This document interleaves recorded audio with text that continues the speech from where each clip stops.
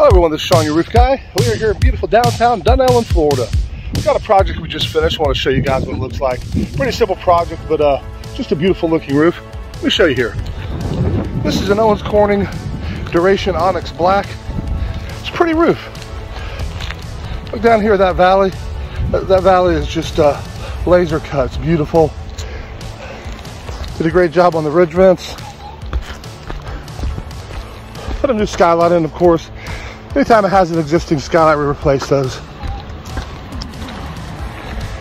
New gutters, put a gutter wrap on it. It's absolutely beautiful, beautiful roof. This is Bennett Sunologi. You guys have a great day.